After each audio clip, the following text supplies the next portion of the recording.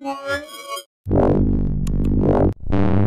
Mobile Geeks video is powered by ASUS. So, Sascha from Mobile Geeks, we finally made it over to the MediaTek booth at Computex 2015 and stumbled upon something really, really interesting. It's a Chromebook, an 11.6 inch Chromebook, and obviously a prototype, as you can tell by the look at the hinge. But you know what? It's more interesting what's underneath the hood.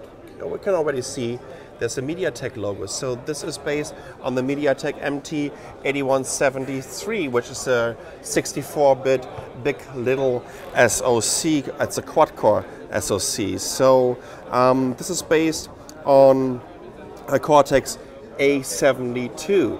And actually, for the very first time that we see a MediaTek-based Chromebook, you know what I know it doesn't look too fancy right now, so this is more of a tech demo. But what Nicole is just filming here on the right, you know what? This is a Type C USB. And this Type C USB is connected to this BenQ screen over here.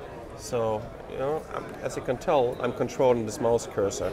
Actually, also the very first Chromebook that I saw with the USB Type C in there. Not only first MediaTek, not only type, uh, first also the first uh, USB Type C can't tell you anything about the availability. Forget about this. This is a this is just a reference design.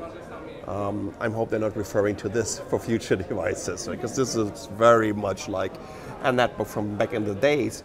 But it's a proof of concept and it shows you that MediaTek is also entering the space of Chromebooks and to see um, a Chromebook and an ARM Cortex architecture uh, using a USB Type-C is also something that we haven't seen before. First look at this new MediaTek Chromebook. I'm Sascha from Mobile Geeks. If you have any questions, just leave them down below. Give us a like, a thumbs up, and maybe you want to subscribe to our channel. See you soon.